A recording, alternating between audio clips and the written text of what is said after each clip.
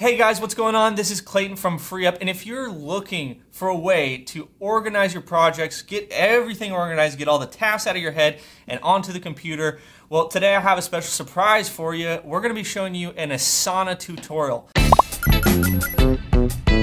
Now, Asana is one of my favorite programs. It's a project management software and allows you to just manage your projects a lot easier, keep everything organized, assign tasks, all that kind of stuff. We use it every day here in our companies. Uh, we got over 45 people using it to just keep track of projects. So I'm going to give you a tutorial on exactly how we use it and how you can get organized in your business too. So guys, let's hop over to the computer and uh, I'll see you on the other side. Hey guys, what's going on? Let me give you a quick little tour of how to use Asana. Now, Asana is a project management software. We use it in multiple businesses that we have. It's pretty great. There's even a free version, so if you're not looking to spend very much, uh, there's you can actually try it out for free, which is great. And so I'm just going to be walking you through a few of the basics, how to get started. And you know, you can use this even personally for yourself. I started using it out just as a personal organization, and then it um, we deployed it, you know, in our whole company. And so we use it for everything from marketing to design to development and everything like that.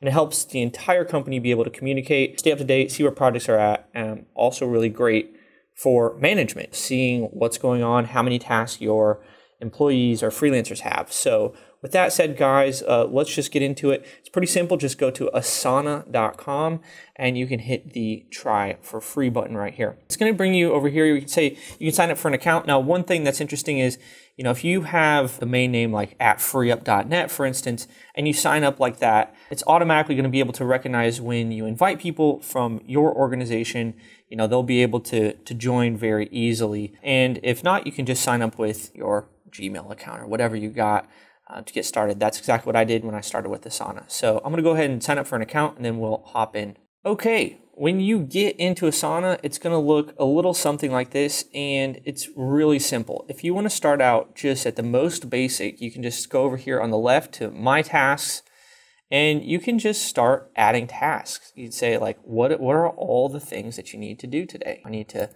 make this video. I need to edit this video. I need to post this video.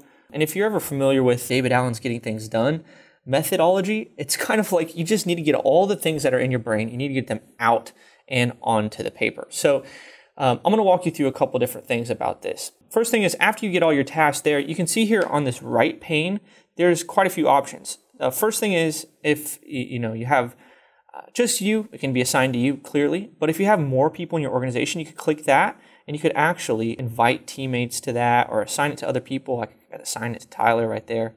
It's pretty cool. I could set a due date, um, so sometime in the future. If I wanted to, I can actually make this task uh, repeatable. So if I need a task to repeat every week or every day or anything like that, you know, I can actually customize that here. If there's a specific time that it needs to be done, I can do that. So lots of different options there.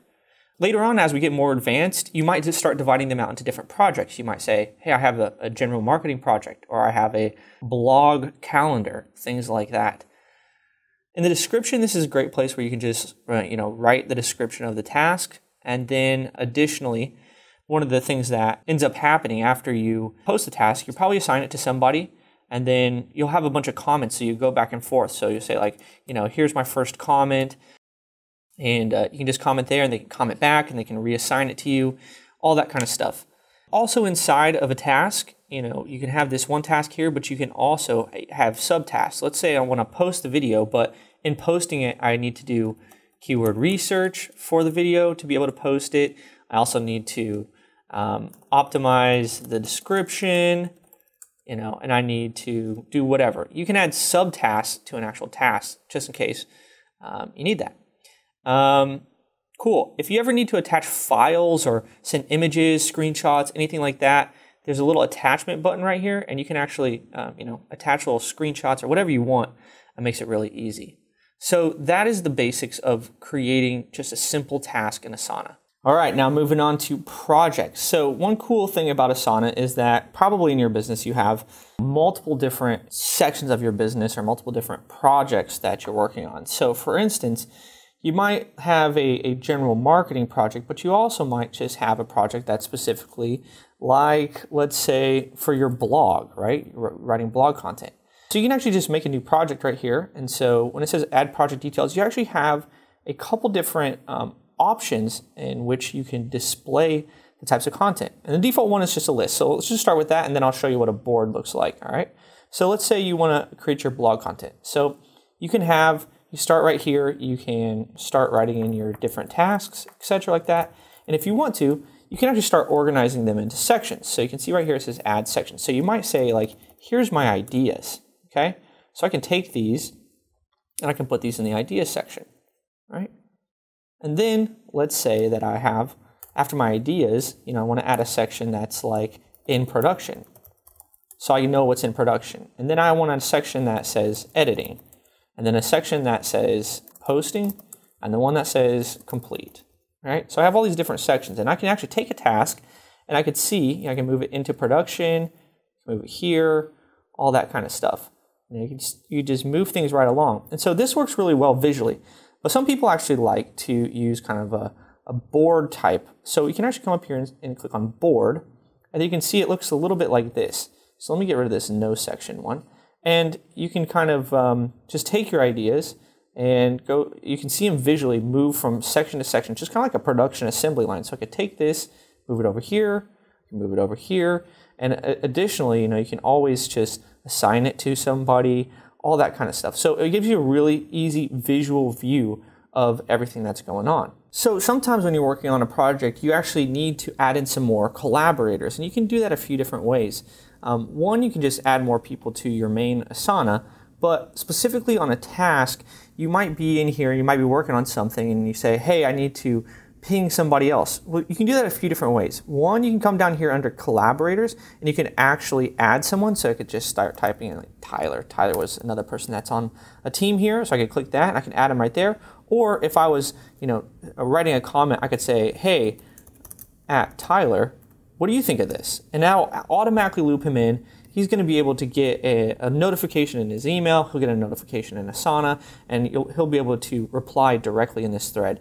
This really keeps everybody informed in the loop, and everybody knows what's going on really easily. Another cool thing in Asana that you can do is you can actually start marking tasks for uh, certain days. So like let's say I can mark this one for today, make this video for let's say on Wednesday, and then you want to edit the video on Thursday, right? Let's do something like that. But you can see here I'm, I'm right, I have these all right here in the list. Well, if I want to view that via a calendar, I can actually do that too. So I can hit calendar right there and I can see exactly you know, where, where those are scheduled for. So it gives you a nice, uh, different visual way to actually look at the tasks. Another thing that Asana has is a lot of cool sorting and filtering options in the way that you like to view your tasks.